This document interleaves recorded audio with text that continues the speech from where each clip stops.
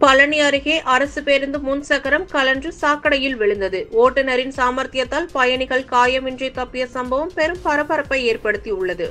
திண்டுக்கல் மாவட்டம் பழனி பேருந்து நிலையத்திலிருந்து இன்று காலை வேப்பன்வாலசிற்கு செல்லும் நகர பேருந்து பதினாறாம் எண் கொண்ட பேருந்து டிஎன் ஐம்பத்தி ஏழு எண் ஒன்று இரண்டு எட்டு ஆறு முப்பதுக்கும் மேற்பட்ட பயணிகளை ஏற்றிக்கொண்டு வேப்பன்வலசு அருகே சென்று கொண்டிருந்த போது பேருந்தின் முன் இடதுபுற சக்கரம் கலன்று சென்று வீடுகளின் அருகே இருந்த பெரிய சாக்கடையில் விழுந்தது. இதனால் பேருந்து சென்று கொண்டிருக்கும் போதே சக்கரம் கலன்றதில் நிலை தடுமாறியதில் பயணிகள் கூச்சலிட்டு அலறினர். ஓட்டுநர் சாமர்த்தியத்தால் பேருந்தை நிறுத்தியதால் பயணிகளின் உயிர் தப்பியது.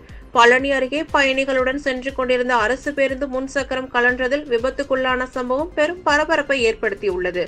மேலும் தமிழ்நாடு அரசு போக்குவரத்து கழகத்தின் சார்பில் கடந்த சில நாட்களுக்கு முன்பு நீதிமன்ற உத்தரவின்படி அனைத்து பேருந்துகளும் ஆய்வு செய்யப்பட்டு பேருந்துகள் இயக்கப்பட்டு வருவது குறிப்பிடத்தக்கது.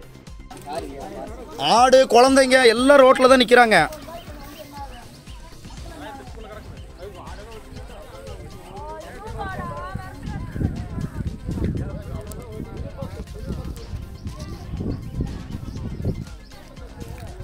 ஒரு நாளைக்கு குறைஞ்சது பத்து ட்ரிப்பு பன்னெண்டு ட்ரிப் அடிக்கிறது பூரா மக்கள் எவ்வளோ கூட்டம் வருது?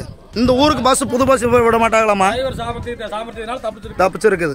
இதை பழனி ஆய்க்குடி இந்த மாதிரி டவுன்ல நடந்திருந்ததுன்னா போ- போச்சு இன்னைக்கு. ஆடு மாடு ஊருக்குள்ள மனுஷங்க. வீடுக்கு பாருங்க எத்தனை வீடு இருக்குன்னு. ஆ எத்தனை குழந்தைங்க விளையாடுறாங்க.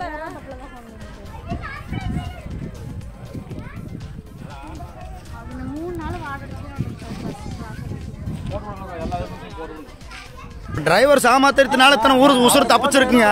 அவர் அவர்னால அவர் இல்லைன்னு வச்சுக்காங்க. வேற டிரைவர் புது டிரைவர்லாம் இப்போ ஷிஃப்ட் ஓட்டுறாங்க. ஷிஃப்ட் ஓட்டுற கூட விட்டோம்னா அவ்வளோதான் முடிஞ்சு.